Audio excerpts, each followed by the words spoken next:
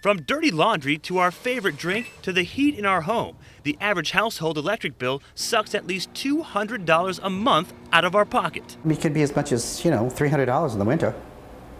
And that's a good one. Despite the fact that solar energy has been around for about 100 years, Americans have not truly embraced it.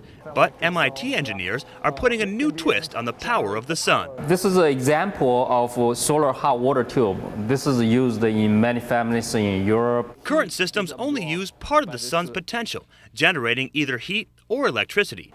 But now mechanical engineers have come up with a new solar power conversion system that does both. We are able to capture the whole spectrum and uh, we basically convert the sunlight into heat and after it was converted into heat we convert it into electricity. The key lies in these semiconductor legs that are placed between the hot water tube and the solar absorber, converting heat directly into electricity while heating the water. We use the solar energy and absorb and generate a temperature difference.